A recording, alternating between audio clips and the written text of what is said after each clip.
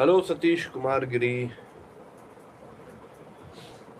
नमस्कार दोस्तों मैं नाम है आदित्य मिश्रा और आप देख रहे हैं ऑल अबाउट सोशोलॉजी आज हम लोग बात करेंगे सोशल मोबिलिटी के अगले लेक्चर के बारे में हम लोग।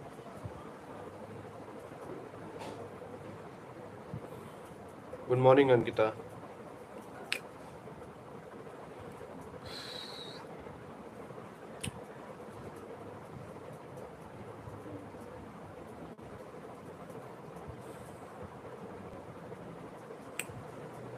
आज हम लोग पढ़ेंगे सामाजिक गतिशीलता के घटक एवं शक्तियाँ factors and forces of social mobility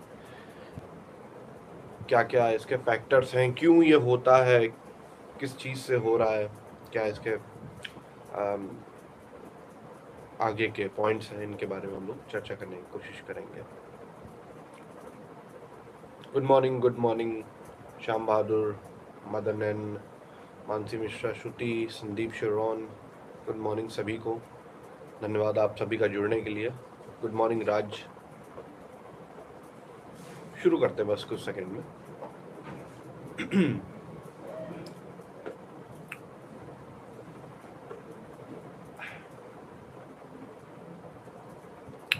Good morning Satish good morning Anupama thanks for joining and we will start the class तो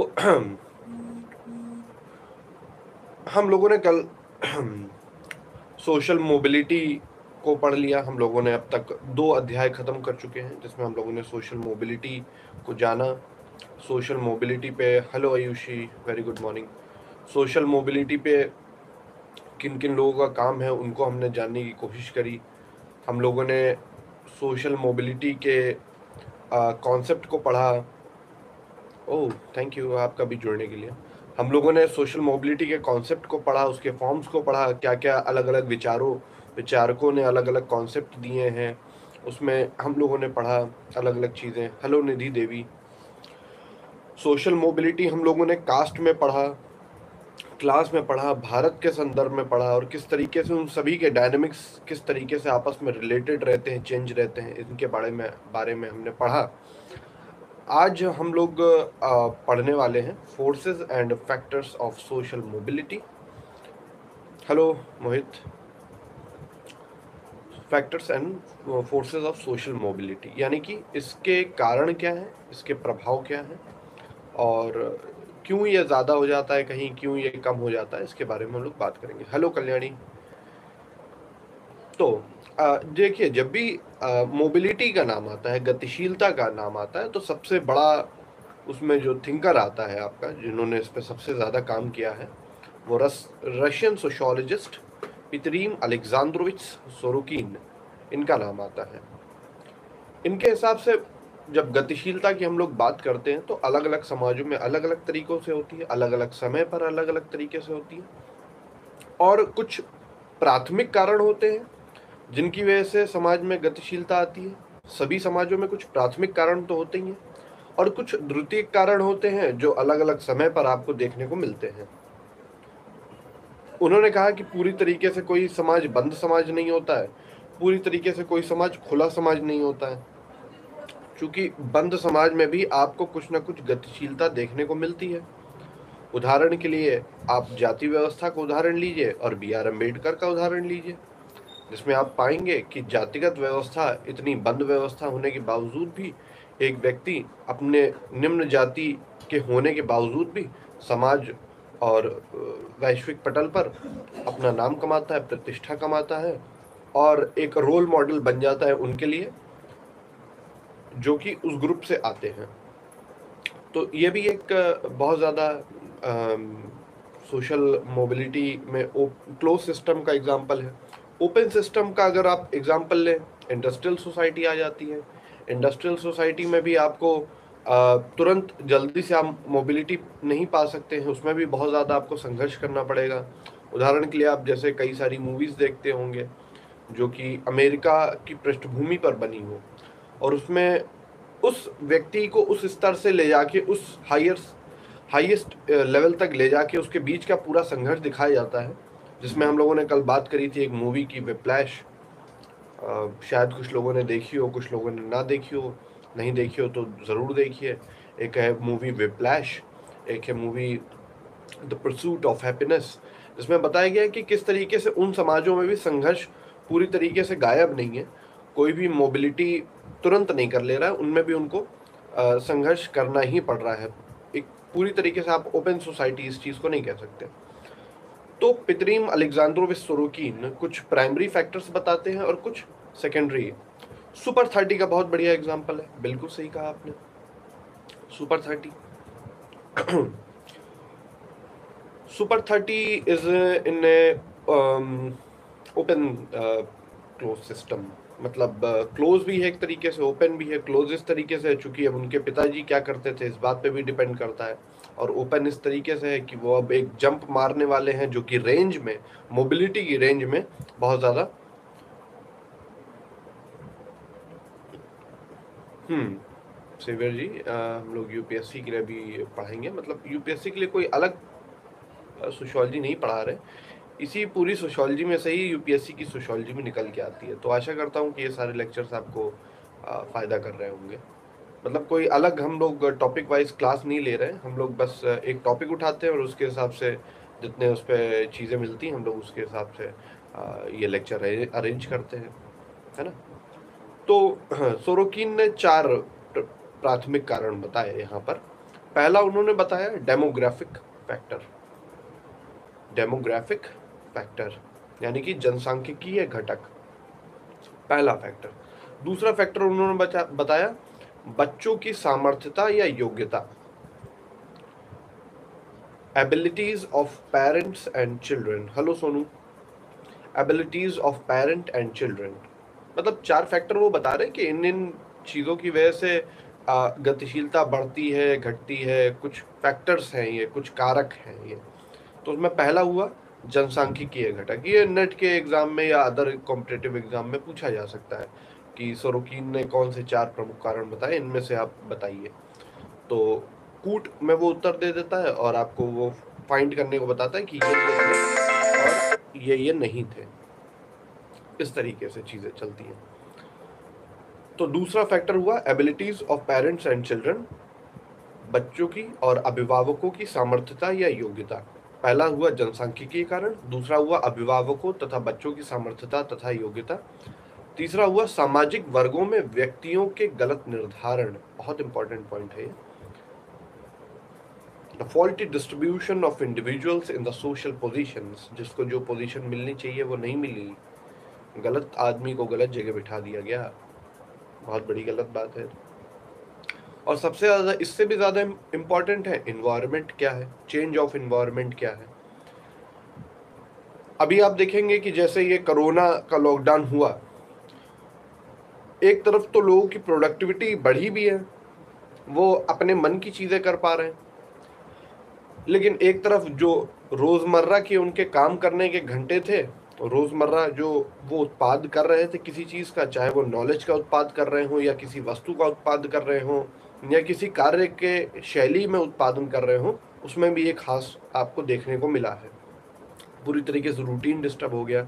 तो ये चेंज ऑफ़ इन्वायरमेंट की भी बात पितरीम अलेक्जेंडर सोरुकिन यहाँ पे करते हैं। इन चारों को हम लोग डबल प्राइस में मार्केट में सेल कर रहे हैं, बिल्कुल। तो काला बाजारी भी बढ़ रही है, जो कि अच्छी चीज़ नहीं है। तो हम लोग इसे गतिशीलता के संदर्भ में समझ रहे हैं। गतिशीलता में जो लोगों ने पहले वीडियोस नहीं देखे अपलोड्स में जाके, इसके पिछले वाले वीडियोस आप लोग जाके देख सकते हैं। जिसमें इसकी पिछली क्लासेस का वर्णन हुआ है। तो थोड़ा सा बेस बन जाएगा और ये वाले लेक्चर्स आपको समझ में आएँगे। बात करते हैं एक एक करके इन फैक्टर्स की, हम लोग एनालिसिस करते हैं, समझते हैं कि इन फैक्टर्स के बारे में किस किस तरीके से क्या क्या बातें कही गई देखिए डेमोग्राफिक फैक्टर या जनसांख्यिकीय घटक की हम लोग बात करते हैं। तो एक सिंपल सा फिनोमिना है कि उच्च वर्ग होंगे, उनमें जन्म दर कम होगी बर्थ रेट कम होगी, जो निम्न दर हैं उनमें जो निम्न वर्ग हैं, उनमें जन्म दर ज़्यादा होगी। यानी कि वो ज़्यादा बच्चे पैदा कर रहे हैं और वो लोग कम बच्चे पैदा कर रहे हैं। हालाँकि ऐसा कोई रूल नहीं है कि उन्हें कम ही करने हैं, उनको ज़्यादा करने पर रिसर्चेज में ये पाया गया है। अब बात आती है मृत्यु दर की। तो मृत्यु दर भी निम्न वर्गों में अधिक होती है। उच्च वर्ग में तो मृत्यु दर कम नहीं हो सकती सॉरी ज़्यादा नहीं हो सकती, क्योंकि उन्होंने अपने लिए उस साधनों को डेवलप कर लिया है जिस तरीके से वो लोग मेडिकल्स में या रहन सहन में अपने आप को थोड़ा सा अच्छा मान पाए। लेकिन अब इसका भी एक कॉन्ट्रडिक्शन देखने को मिलता है। अमेरिकी समाज में आ, इतनी ज़्यादा फैसिलिटीज़ होने के बावजूद भी कोरोना इस तरीके से वहाँ पर तेज़ी से फैल रहा है। हाँ ये अलग बात है कि वो ठंडे प्रदेश हैं पर हम इंफ्रास्ट्रक्चर के रूप से अगर हम बात करें तो इसमें भारतीयों ने एक अच्छा आंकड़ा प्रस्तुत किया है जिसमें कोरोना से होने वाली मौतें बाकी सारे विकसित देशों की कंपैरिजन में कम है। तो इस तरीके की चीज़ें डेमोग्राफिक फैक्टर्स में आती हैं। डेमोग्राफी क्या है, उसके बारे में एक बेसिक लेक्चर एन का प्लेलिस्ट में पड़ा हुआ है। आप लोग उसे देख सकते हैं, जो कि भारतीय समाज एन क्लास ट्वेल्थ की बुक से लिया गया है। उसमें आप लोग देख सकते हैं कि डेमोग्राफी क्या है, उसके घटक क्या हैं, भारत पे किस तरीके से लग रही है। एक बेसिक बहुत बहुत बहुत बेसिक वाला पोर्शन उसमें कवर किया गया है। तो परेने ने अपने अध्ययन में पाया, आगे इसमें उदाहरण देते हैं, कि उन्होंने फ्रांस में कुछ 1200 लोगों को रिसर्च करी उनमें। जिनमें से सौ पंद्रह जो थे वो कुलीन वंश के थे, यानी कि हाई क्लास के थे नोबल क्लासेस के थे। और आगे जब वो अपनी एक जनरेशन बाद आए तो 215 में से 149 ही रह गए। घटे। फिर इसके बाद और घटे फिर इसके बाद और घटे फिर इसके बाद और घटे और धीरे धीरे धीरे कुलीन वंश या तो नॉर्मल लेवल पर आ गए या फिर गैर कुलीन वंश हो गए। यानी कि उन उनको आप आ, कुलीन नहीं कह सकते नोबल्स नहीं कह सकते। इस तरीके से एक रिसर्च में भी पाया गया। एलेक इंकल्स ने अपने रिसर्च में पाया कि इस शताब्दी में, इस पूरी सेंचुरी में, इस पूरी सेंचुरी के मिड में बहुत ज़्यादा अधिक गतिशीलता पाई गई। क्योंकि इसमें बहुत ज़्यादा युद्ध हुए युद्ध हुए तो बहुत ज़्यादा लोग मरे भी, बहुत ज़्यादा लोग मरे भी तो उनकी पोजीशन को फिल करने के लिए नीचे से लोगों को ऊपर लाना पड़ा। ज़ाहिर सी बात है, गतिशीलता अधिक हो जाएगी। तो इस प्रकार से भी कुछ कुछ ना कुछ डेमोग्राफिक फैक्टर्स आपको देखने को मिलते हैं।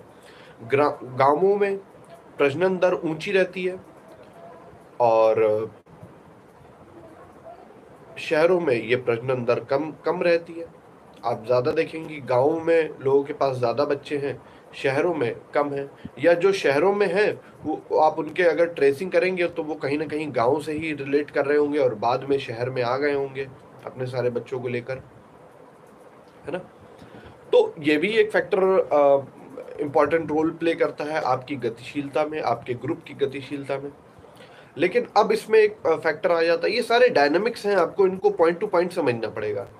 और सारी चीज़ों को आपस में रिलेट करा के देखना पड़ेगा कि हाँ इस चीज़ की वजह से ये हो रहा है, इस चीज़ की वजह से ये हो रहा है। कोई पिन पॉइंट तरीका नहीं है है ना? तो आपको one by one step to step connect कराना पड़ेगा। आप एक बार में यहाँ से दिल्ली नहीं जा सकते, आपको स्टेशन बाय स्टेशन गुजरना पड़ेगा।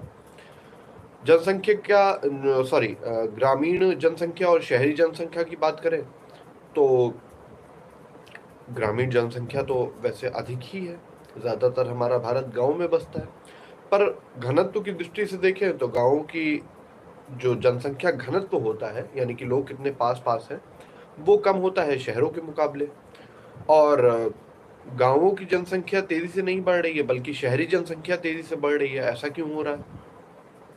ऐसा इसलिए हो रहा है क्योंकि गाँवों से लोगों का शहरों की तरफ़ पलायन, उनकी तरफ़ प्रवजन माइग्रेशन जिसे एक इंपॉर्टेंट फैक्टर प्ले करने के लिए कहा जाता है, वो एक इंपॉर्टेंट रोल प्ले करता है, जो कि शहर की शहरीकरण में और शहर के रेंज में, यानी कि पहले शहर इतना छोटा होता है, फिर आप देखते हैं कि वो धीमे धीमे धीमे धीमे बड़ा भी हो रहा है, अपना एक्सपेंशन कर रहा है। अमीबा भी की तरह। वो सारी चीज़ें कहाँ से आती हैं? वो सारी चीज़ें ऐसे आती हैं कि उसकी पॉपुलेशन खुद पैदा नहीं कर रही है, बल्कि बाहर से पॉपुलेशन आके उसमें ज़्यादातर बस जा रही है। लखनऊ में भी अगर आप बात करें तो प्रॉपरली लोग लखनऊ के नहीं है, क्योंकि विदेश के लोग सिटी में वर्क करने के लिए आ रहे हैं और स्टडी करने के लिए भी आ रहे हैं। बिल्कुल सही। लखनऊ में अगर आप मोस्ट ऑफ़ द जनसंख्या की बात करें तो वह, वो यहाँ की ओरिजिनल हैबिटेट की नहीं है। वो आप अगर उनके ओरिजिन को पता करेंगे तो वो कहीं ईस्ट से आए हुए हैं, कुछ लोग वेस्ट से आए हुए हैं, कुछ लोग नॉर्दर्न यूपी से आए हुए हैं। इस तरीके से आपको एक कोलेबरेटिव जनसंख्या देखने को मिलेगी, जो कि यहाँ के ओरिजिनल जो रेसिडेंट्स थे, उनके मुकाबले में काफ़ी ज़्यादा है और उनकी डेंसिटी उस लखनऊ की डेंसिटी के हिसाब से भी बढ़ रही है। आज के समय में डेमोग्राफिक फैक्टर यहाँ पे इस गतिशीलता के संदर्भ में हम लोग समझ रहे हैं कि क्या ये सारे डेमोग्राफिक फैक्टर ये जनसांख्यिकीय घटक क्या गतिशीलता में किस प्रकार से परिवर्तन लाते हैं या नहीं लाते हैं? अब आप समझिए कि आ, कोई व्यक्ति जो गाँव में एक फल का ठेला लगा रहा था जिसको कुछ रुपए की कमाई होती थी उसने अपना प्रवास किया शहरों की तरफ़ और शहरों की तरफ़ प्रवास करने के बाद उसने पाया कि यहाँ पर अगर हम अपनी फल की दुकान लगाते, चूँकि हम क्वालिटी का फल बेच रहे हैं तो उसे ज़्यादा मौके मिलते और ज़्यादा वो ग्रो कर पाता। तो मोबिलिटी के संदर्भ में वो हाई लेवल पर जाने के टेंडेंसी में रहता है और उसके पास पोटेंशियल भी वैसा बन जाता है। वैसे ही उसके रिलेशंस बन जाते हैं, वैसे ही उसको काम करने का तरीका समझ में आने लगता है, वैसे वो मार्केट की स्ट्रैटेजी समझने लग जाता है। तो कहीं ना कहीं ये डेमोग्राफिक फैक्टर भी इसमें एक इंपॉर्टेंट रोल प्ले कर रहा है। दूसरी बात आती है एजिंग की। एक सोशोलॉजी ऑफ़ एजिंग एक अलग ही पेपर है सब्जेक्ट है। उसके बारे में हम लोग किसी और दिन चर्चा करेंगे। शायद किसी यूनिवर्सिटी के पेपर में है या नहीं है, मुझे नहीं पता। लेकिन बुक्स में देखने को मिलता है आपको। आयु का समाजशास्त्र या उसको एजिंग बोल दिया जाता है, वृद्धा इस तरीके से। कुछ लोगों ने रिसर्च के टॉपिक्स भी लिए होते हैं। तो इसमें अगर हम लोग इसके एजिंग के बारे में बात करें तो एजिंग के बारे में बात ये आती है कि अब मेडिकल केयर ज़्यादा से ज़्यादा बढ़ गई है। पहले लोग जल्दी मर जाते थे, अब लोग देर में मर रहे हैं। यानी कि उनकी लाइफ एक्सपेक्टेंसी यानी कि आयु सीमा बढ़ गई है। Life expectancy hello Saurabh ji नमस्कार कहाँ थे आप आज? बारह बजे ऋषभ सर की आ, क्लास होने वाली है। आप लोग सोशोलॉजी से रिलेटेड या किसी और चीज़ से रिलेटेड जो आपके पर्सनल डाउट्स हैं उनको आप उनकी क्लास में जाके आज पूछ सकते हैं। आज उन्होंने सोचा कि कुछ क्यू एन ए रख लिया जाए तो उस हिसाब से चीज़ें हैं। ओके ओके आप नहा रहे थे। कोई बात नहीं। नहाना अच्छी चीज़ है। तो हम लोग बात कर रहे थे कि जैसे जैसे दवाएँ बढ़ती गई, जैसे जैसे मेडिकल ट्रीटमेंट बढ़ता गया, वैसे वैसे लोग की लाइफ एक्सपेक्टेंसी भी बढ़ती गई। और लाइफ एक्सपेक्टेंसी बढ़ने के हिसाब से जब लोगों ने देखा कि लोग ज़्यादा देर तक ज़िंदा रह रहे हैं तो उनसे ज़्यादा देर तक काम भी लिया जा सकता है। इसकी वजह से आपके रिटायरमेंट की जो उम्र है, वो बढ़ा दी गई। पहले कुछ कम थी, अब ये साठ हो गई है, पैंसठ हो गई है। कितनी है जरा आप लोग बताइए, मुझे प्रॉपरली पता नहीं है। रिटायरमेंट की एज भारत में कितनी है? किस एज पे व्यक्ति को रिटायर होना होता है? सिक्सटी या सिक्सटी फाइव तो उन्होंने कहा कि भैया, अब सिक्सटी टू है ओके सिक्सटी टू है। अच्छा मुझे पता नहीं था। मेरे सिक्सटी या सिक्सटी फाइव लग रहा था। चलिए अच्छा है, मेरी भी नॉलेज में इंक्रीमेंट हो रहा है। सिक्सटी फाइव सभी लोग एक बार रिप्लाई दीजिए, क्या हो सकता है? सिक्सटी फाइव है। पक्का? सौरभ जी सब लोग सही बता रहे हैं? नॉर्मली सिक्सटी होता है। एम नॉर्मली कैसा होता है फिर? अब नॉर्मल भी कोई कंडीशंस होती हैं मतलब ऐसा भी कुछ है। अच्छा पक्का सिक्सटी फाइव है, पक्का। जैसे ज़्यादातर लोग सिक्सटी फाइव। नेवी में तो थर्टी होती है, बिल्कुल सही बताया। नहीं, थर्टी से थोड़ा सा आगे जाते हैं।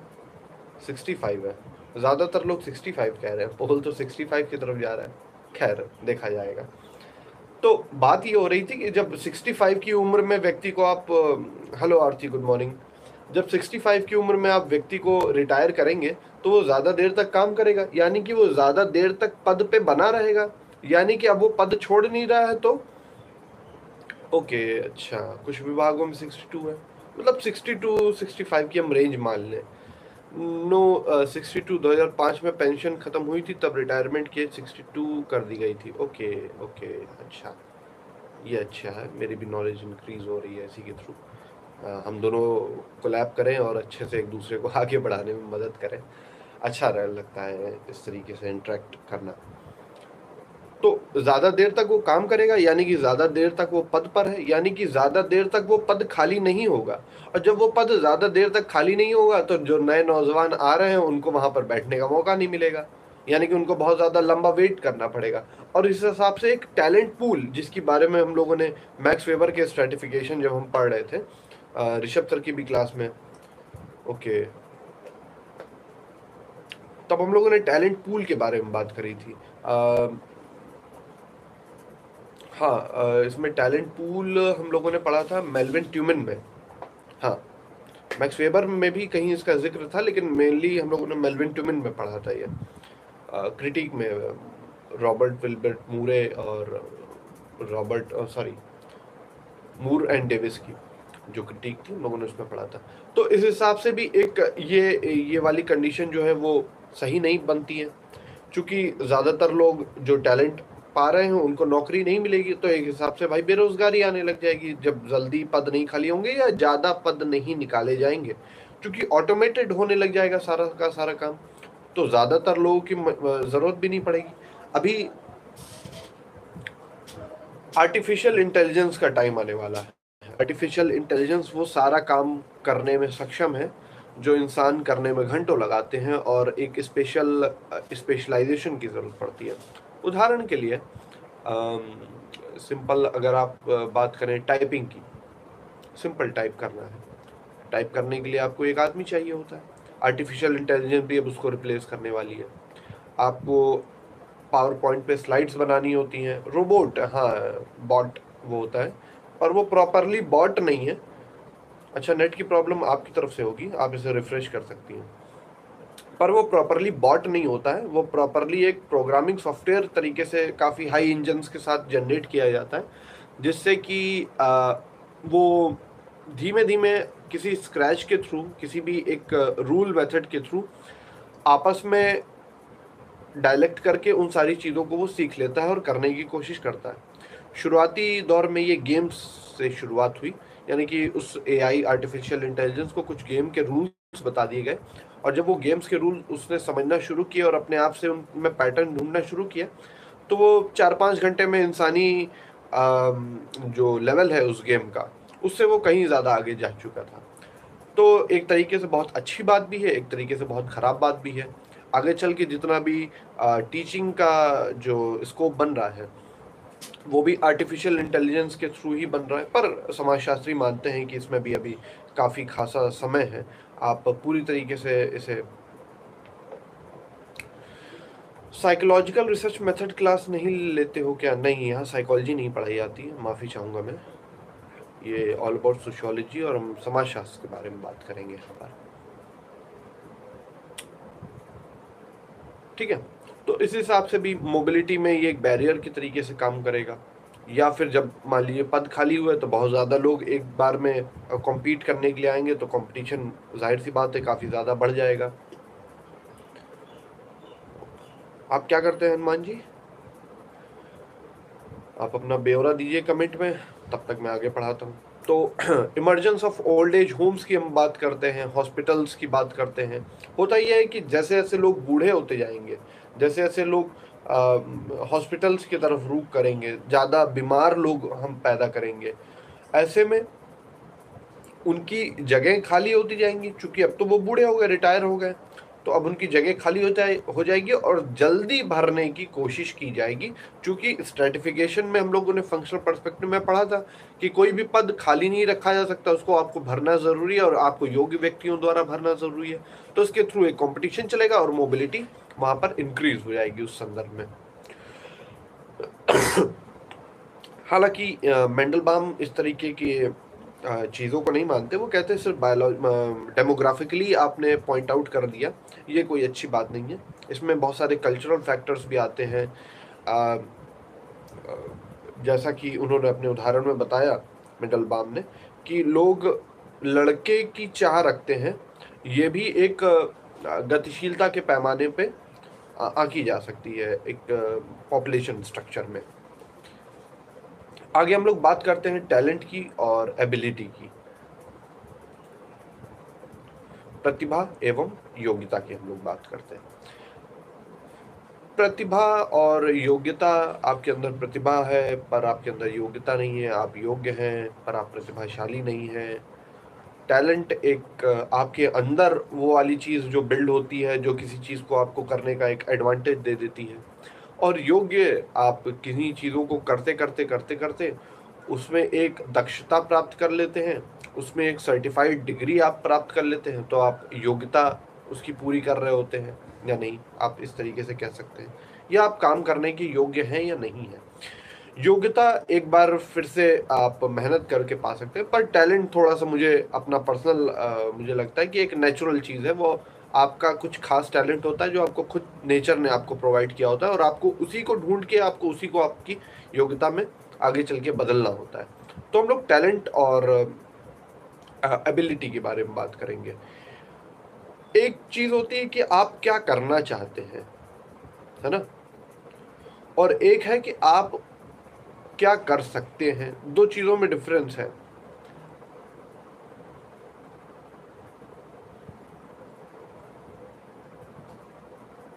बिल्कुल बिल्कुल बिल्कुल सही बताया आपने। मालथस का ये सिद्धांत है। आप लोग चाहें तो नोट कर लीजिए इसे।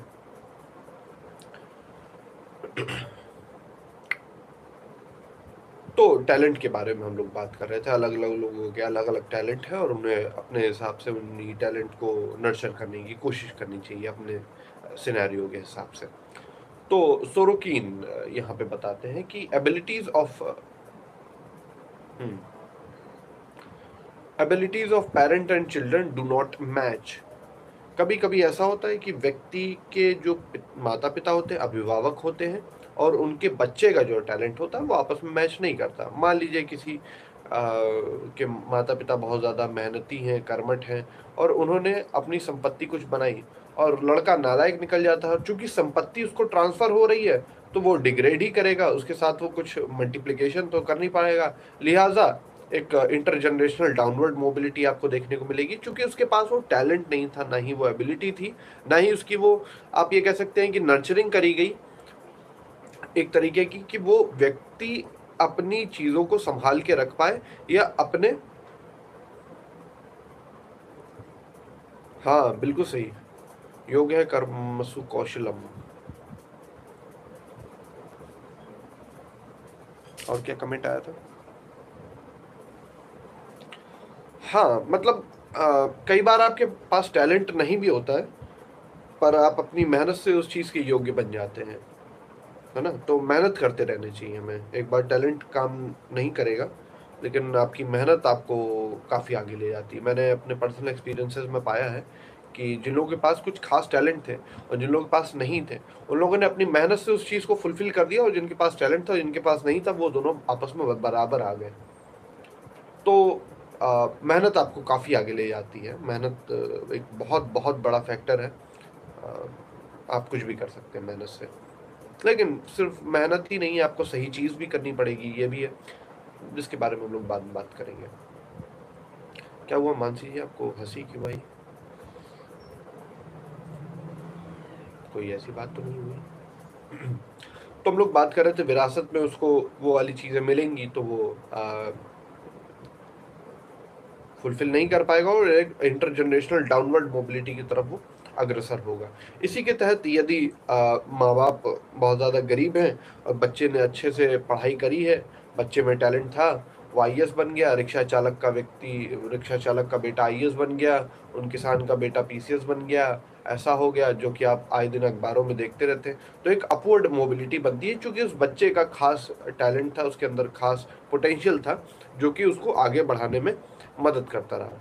इसी के तहत लिपसेट और बेंडिक्स भी इसी तरीके से कहते हैं कि हमेशा जब नया टैलेंट आता है तो वो भी अपनी अपनी जगह समाज में बना ले जाता है उसकी खपत हो जाती है। ऐसा नहीं होता कि पहले वाले आ, पहले वाले लोग ही उस टैलेंट पर काबिज हैं तो उनकी जगह अब कोई ले नहीं सकता। तो जो अब नया टैलेंट आ रहा है वो उनको रिप्लेस करने की कोशिश करेगा आपस में डायलेक्ट करेगा जो अच्छा होगा वो जीत जाएगा। जैसे एक डांस शो आता था आपने देखा होगा डांस इंडिया डांस पहले। अब उसकी जगह डांस प्लस ने ले लिया। अब डांस प्लस को वो धीमे धीमे रिप्लेस कर दिया। उस समय का जो टैलेंट था उसको अब नए टैलेंट के द्वारा रिप्लेस कर दिया गया है। तो वो बताते हैं कि हमेशा इस हिसाब से भी मोबिलिटी आगे बढ़ती रहती है। आगे आ, बताते हैं यहाँ पे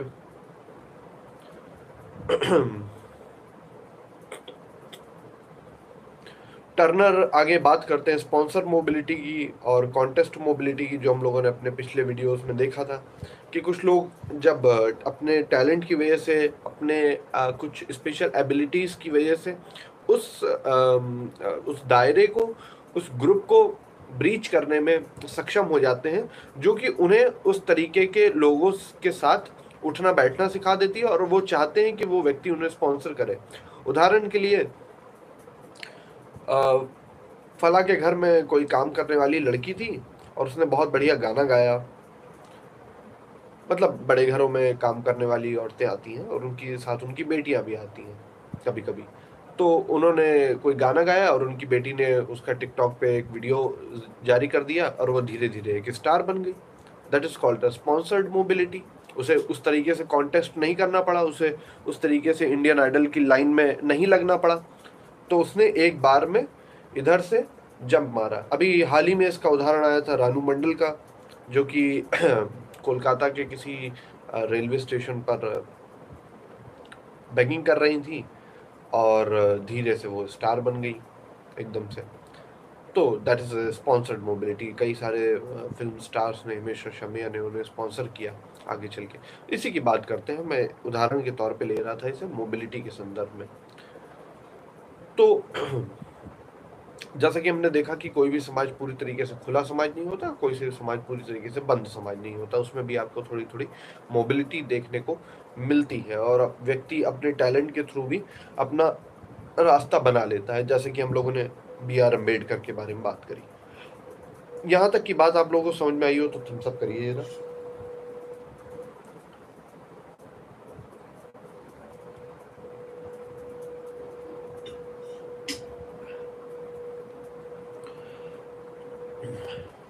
हम्म, ठीक है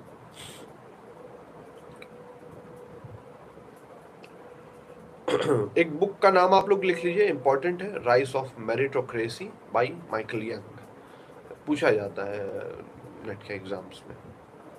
Rise of meritocracy by Michael Young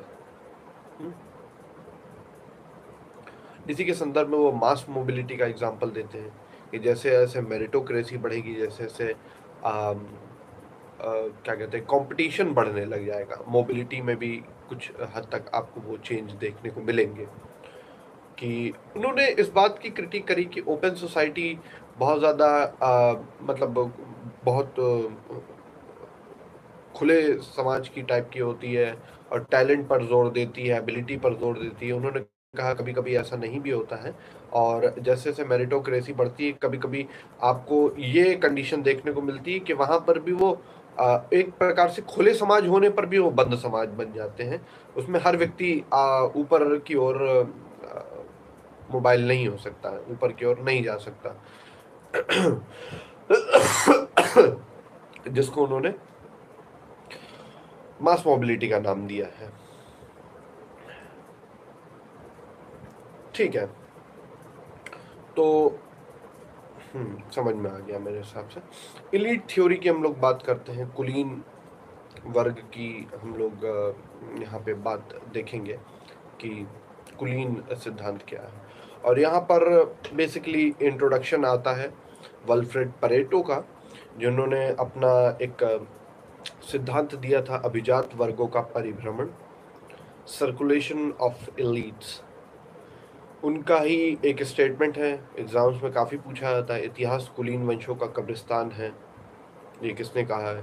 Pareto ने कहा है। कुलीन वंशों का कब्रिस्तान इस तरीके से कहा है कि कोई भी आ, आप इतिहास उठा के देखेंगे उसमें सारे के सारे कुलीन वंश ही आगे चल के नीचे आए हैं और कब्रों में दब गए हैं। उनका कहीं नामो निशान आपको पता नहीं चला है।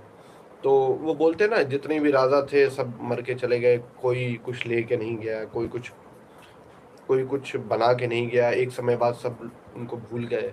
कोई ऐसी वाली बात नहीं है। तो परेटो भी कुछ ना कुछ इसी तरीके के बारे में बात करते हैं कि जो कुलीन है, वो हमेशा कुलीन नहीं रहेंगे। उनकी भी जगह कोई ना कोई और ले ही लेगा। और जब वो फिर से कुलीन बन जाएँगे, फिर से चलेंगे तो वो इस हिसाब से एक सर्कुलेशन वो बताते हैं कि नीचे वाली चीज़ ऊपर आएगी, फिर ऊपर वाली चीज़ ऊपर आएगी, फिर नीचे वाली चीज़ ऊपर वाले को डिग्रेड करेगी।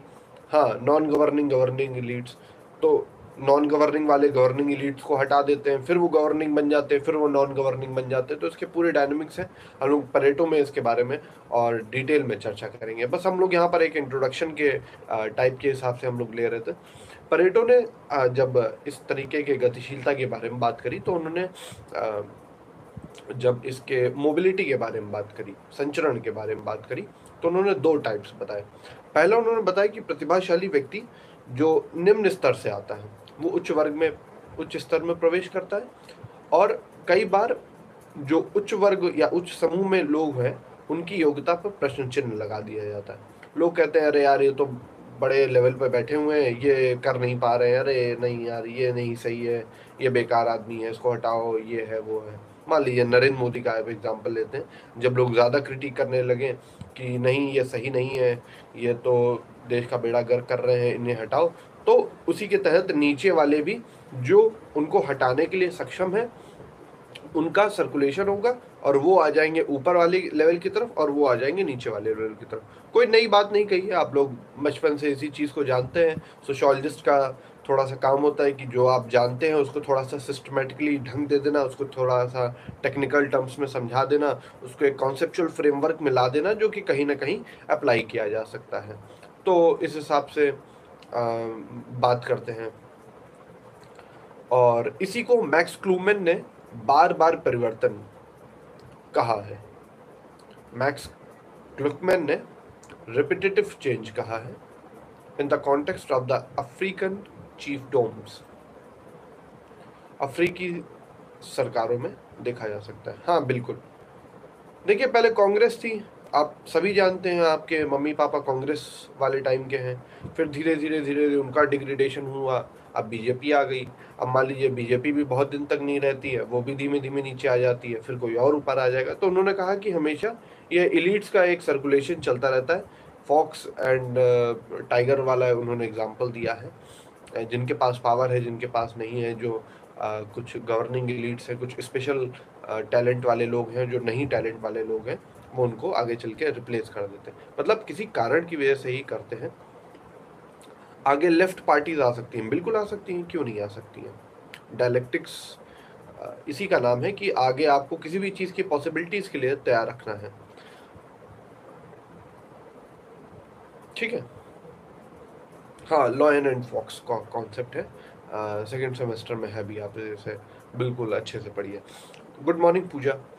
Maurice Duverger ने इसे सामाजिक व्यवस्था में और सामाजिक व्यवस्था से परे एक संघर्ष के रूप में माना है। ये भी आप लोग नोट कर लीजिए, बस it's for the knowledge purpose Maurice Duverger as referred to this as the difference between the conflicts within the regime, यानी कि क्षेत्र के अंदर and conflicts over the regime, यानी कि क्षेत्र से बाहर जाके भी। व्यवस्था से परे और व्यवस्था में। ओके, आपकी फ़र्स्ट क्लास है। ओके, कोई बात नहीं, आप पहले हमारे प्रीवियस लेक्चर्स को देखिएगा अपलोड्स में जाके, और उनके बारे में समझने की कोशिश करिएगा, तब मेरे हिसाब से आगे की क्लासेस आपको समझ में आएँगी। वरना एक बीच में चलती गाड़ी में अगर चढ़ना है तो थोड़ा सा प्रॉब्लम हो सकती है आपको, है ना? तो मैं चाहूँगा कि आप पुराने हमारे वीडियोस देखें और उनके हिसाब से आगे अपनी रणनीति बनाएँ। सामाजिक वातावरण में परिवर्तन की बात आती है, सिंपल सी बात है, आपके वातावरण कैसा है, आपका परिवर्तन कैसा है? होता क्या है कि ध्यान दीजिए कि कोई बीज है किसी चीज़ का, जो कि आगे चल के एक पोटेंशियल रखता है। अच्छा आप में से एवोल्यूशन मूवी किस किस ने देखी है? हाथ उठाइए या थम्सअप करिए। एवोल्यूशन मूवी हॉलीवुड मूवी है 2002 में आई थी। किस किस ने वो एवोल्यूशन मूवी देखी है? चूँकि मोबिलिटी के संदर्भ में ये एग्ज़ाम्पल मुझे लगता है और ज़्यादा रिलेटेबल है। किसी ने देखी है? इवोल्यूशन मूवी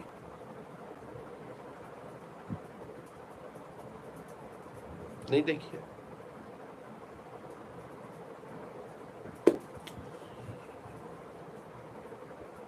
नहीं देखी है। ओके कोई बात नहीं नहीं देखी है तो। देखिएगा, ज़रूर देखिएगा। आपको एवोल्यूशन को समझने में और हर्बर्ट स्पेंसर को समझने में आपको बहुत ज़्यादा मदद मिलेगी आपको कि क्या चीज़ होती है। एवोल्यूशन बहुत ही फ़ेमस मूवी है। 2002 या वन में आई थी शायद हॉलीवुड में। हिंदी वर्जन भी पड़े हुए हैं इसके। काफ़ी पॉपुलर मूवी है। डाउट में हूँ कि आप लोगों ने कैसे नहीं देखी है। हो सकता नहीं देखी हो। मैंने खुद टाइटैनिक नहीं देखी, आप लोगों ने देखी होगी। तो सामाजिक वातावरण परिवर्तन की हम लोग बात करते हैं। हम बात कर रहे थे कि एक बीज जो कि आगे चल के एक पोटेंशियल रखता है एक पेड़ बनने में, यदि उसको वो कंडीशंस ना मिले, जो कि उसके पेड़ बनने में उसको सहायक मुझे नहीं पता यूट्यूब पे अवेलेबल है या नहीं है। एक्चुअली यूट्यूब ने अब अपनी गाइडलाइंस थोड़ी सी टफ कर दी हैं तो लोग अब अपने मूवीज़ वहाँ पर नहीं डाल पाते। तो उसको प्रॉपर कंडीशंस मिलनी चाहिए उस बीज को, जिससे कि वो बीज आगे चल के कोई पेड़ बनने में सक्षम बने। अब आप समझिए कि बीज कहीं रास्ते पर पड़ा होगा तो वो पेड़ नहीं बन पाएगा। आप कहेंगे, यार, बीज में ही नहीं टैलेंट था तो वो पेड़ कहाँ से बन पाएगा? ऐसा नहीं है। क्योंकि बीज को आपने उस कंडीशन में नहीं रखा, जिस कंडीशन में उसको बड़ा होना चाहिए था। पहली बात तो अब इसमें दो फैक्टर्स डिटरमाइन करते हैं कि बीज है क्या? कुछ बीज तो अंधेरे में भी आप देखते हैं मशरूम उग जाता है, कहीं भी उग जाता है, कुछ पेड़ होते हैं, वो कहीं भी उग जाते हैं, उनको खाद पानी देने की कोई ज़रूरत नहीं है। और कुछ पेड़ है जिनको बहुत ज़्यादा खाद पानी देने की ज़रूरत होती है, तभी वो बहुत थोड़े ही मात्रा में नर्चर हो पाते। तो इसमें हम लोग बात कर रहे थे कि कौन से फैक्टर इन्वायरमेंटल फैक्टर्स क्या हैं, उसके इकोलॉजिकल फैक्टर्स क्या हैं, उसके बाहरी माहौल के बारे में क्या हम लोग बात करते हैं? और बाहरी माहौल का कभी कभी प्रभाव ये भी पड़ता है कि जो डीएक्टिवेट बीज होता है, जो नर्चर होने के पोटेंशियल नहीं भी रखता है, कई बार उसने भी अपने अंदर एक ड्रास्टिक चेंज लाए और परिवर्तन करने लग गया, आगे चल के। तो शैक्षिक अवसरों में इस चीज़ को आप देखते हैं। आपको याद होगा कि आपके बचपन में आपके साथ वो बच्चा पढ़ता था, जो बहुत ज़्यादा पढ़ने में तेज़ नहीं था। पर अब अब आप देखेंगे, एक बहुत ड्रास्टिक चेंज देखेंगे कि अरे यार, अब तो वो वो करने लग गया, अब तो वो वो करने लग गया, वो तो ये करता था, उसका तो मुझे पता ही नहीं था। ऐसा होता है। सिंपली आप अपने एग्जाम्पल्स के थ्रू अपने आसपास के एग्जाम्पल्स के थ्रू देखते हैं। क्योंकि हुआ ये कि उसको अपने पोटेंशियल के हिसाब से वो इन्वायरमेंट मिल गया, वो दिशा मिल गई, वो दशा मिल गई, जिसके थ्रू वो आगे पकड़ के चलने लग गया।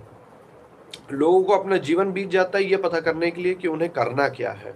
उन्हें क्या करना था, किस चीज़ के लिए वो बने थे, किस चीज़ के इनर वॉइस से उनकी बारे में आवाज़ आ रही है।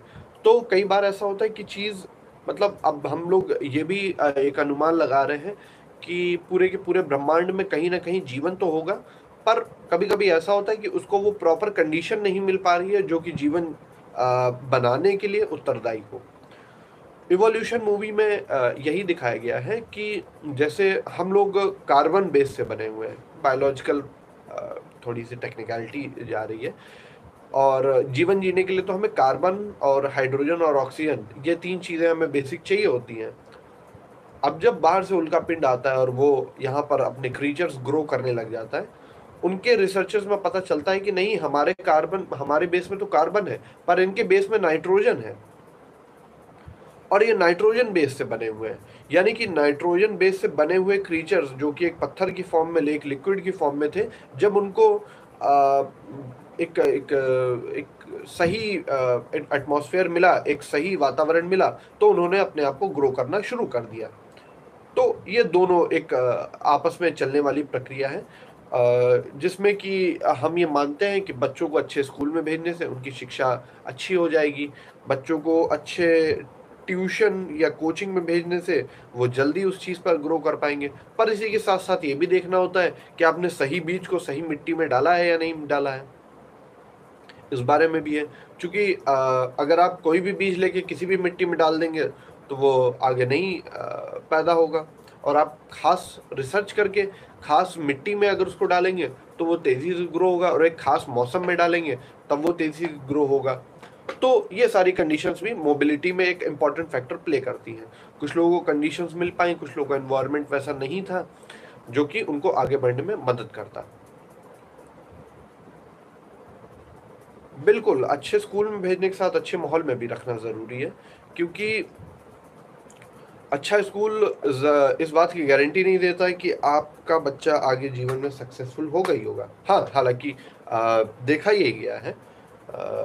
हालाँकि देखा ये नहीं गया है। लेकिन ये इस बात की कोई गारंटी नहीं है। तो आपके जो पेरेंटल कल्चर्स होते हैं, ये भी एक डिटरमाइनिंग फैक्टर रखते हैं। और मुझे पर्सनली स्कूल से कोई भी दिक्कत नहीं है। मुझे लगता है कि सभी स्कूल बराबर होने चाहिए, जहाँ पे सभी को एक जैसी शिक्षा मिले। कोई लेवल में हाई शिक्षा पा रहा है, कोई लो शिक्षा पा रहा है, ऐसा नहीं होना चाहिए। सभी को एक इक्वल शिक्षा मिले, जिससे एक इक्वल कंपटीशन जनरेट हो। और कंपटीशन में जो हाई क्लास का बच्चा है, वो भी उसी जगह पर बैठे और लो क्लास का बच्चा है, वो भी उसी जगह पर बैठे। और अब एक्चुअल जो टैलेंट होगा, वो आगे निकल के आएगा। सुपर थर्टी में जैसे आपने देखा होगा। तो मेरे हिसाब से आज के लिए हम लोग अपने डिस्कशन को यहीं समाप्त करते हैं। आगे हम लोग बात करेंगे औद्योगिकरण एवं गतिशीलता की और इंडस्ट्रियलाइजेशन और मोबिलिटी की हम लोग बात करते हैं अवेलेबल वैकेंसीज के बारे में बात करते हैं कुछ लीगल रिस्ट्रिक्शंस आ जाती हैं। कभी कभी आप आ, किसी चीज़ के लिए एप्लीकेबल तो होते हैं पर मोबिलिटी के टर्म्स में अब जब आप उसमें जंप करने वाले हैं तो, तो कुछ ऐसे लीगल रिस्ट्रिक्शंस आ जाते हैं। जैसे कई बार आप फॉर्म भरने के लिए अवेलेबल रहते हैं आपको सब कुछ आता है पर आपकी वो एज ही निकल चुकी होती है। आप मेडिकल में जाते हैं तब तो आपको पता चलता है कि आप के चेस्ट में एक दिक्कत है आपके पैर में एक दिक्कत है। ओके okay, आपने टेंथ तक स्कूल से गाँव से ही पास किया। देखिए आपने गाँव से पास किया और अब आप यहाँ यूट्यूब तक आ गई हैं पढ़ते पढ़ते तो मेरे हिसाब से ये भी एक मोबिलिटी का बहुत अच्छा एग्जांपल है। अपवर्ड मोबिलिटी का जिसमें आप intergenerational intragenerational mobility कर रही हैं। तो इन सारे टॉपिक्स को हम कल कवर करने की कोशिश करेंगे अवेलेबल वैकेंसीज के बारे में बात बात करेंगे। पाँच पॉइंट्स दिए हैं अपेंडिक्स और लिपसेट ने। किसी भी इंडस्ट्रियल सोसाइटी में किस हिसाब से सोशल मोबिलिटी बढ़ेगी या घटेगी इंडस्ट्रियलाइजेशन एंड मोबिलिटी के बारे में बात करते हैं हम लोग। और कन्वर्जेंस हाइपोथेसिस बहुत बहुत ज़्यादा इंपॉर्टेंट है। थोड़ी सी कॉम्प्लेक्स हो जाएगी। जैसे कि हमारे पिछले वीडियोस में कुछ चीज़ें कॉम्प्लेक्स हुई थी, उनमें हम लोगों ने टाइम लिया था, अच्छे से समझा था। और लेक्चर को मैं यहीं समाप्त करता हूँ। आप लोगों कोई क्वेश्चन हो लेक्चर से रिलेटेड तो आप पूछ सकते हैं। कमेंट डिलीट क्यों कर दिया जाता है? ऐसी तो कोई बात नहीं लिखी गई थी। या आपको अंदर से ऐसा लगा कि, अरे, मुझे ये वाली बात नहीं बतानी चाहिए थी। ऐसा हुआ क्या कुछ?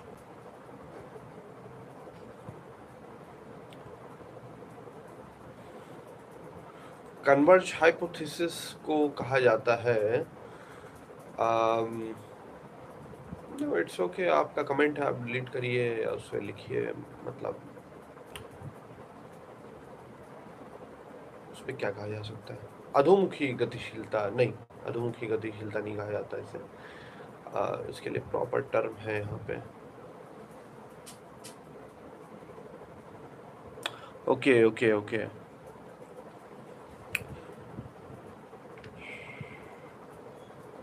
तो अब तक आपको पता चल गया होगा कि आ, किसी भी आ, ऐसी चीज़ जो आप ये कहें कि हाँ मैंने टेंथ इस स्कूल से पास किया है या उस स्कूल से पास किया है ये बहुत ज़्यादा डिफ़र नहीं करता है चीज़ों में।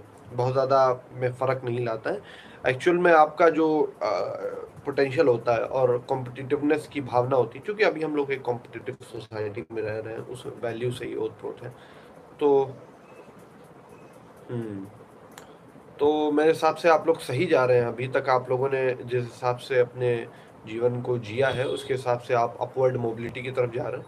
और और प्रयास करिए, और टैलेंट लाइए, और वर्क करिए हार्ड करिए। और अपने ब्लाइंड स्पॉट्स को ढूँढने की कोशिश करिए। कई बार ऐसा होता है कि हम उन चीज़ों को नज़रअंदाज कर रहे होते हैं, जो कि हमारे मोबिलिटी में, हमारे डेवलपमेंट में बाधक बन रही होती है। तो आप लोग उन चीज़ों को स्पॉट करिए। और अच्छे से पढ़ाई करिए मेहनत करिए। मिलते हैं हम लोग कल अपने वीडियो में साढ़े दस बजे।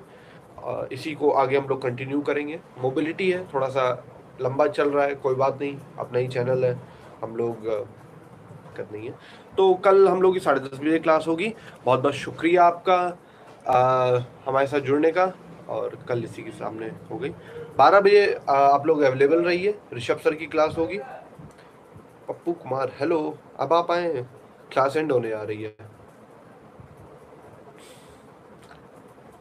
तो बारह बजे ऋषभ सर की क्लास होगी, आप लोग उसमें अवेलेबल रहिएगा और अपने सोशोलॉजी से रिलेटेड कोई भी प्रॉब्लम हो तो आप लोग उसमें पूछ सकते हैं, ठीक है?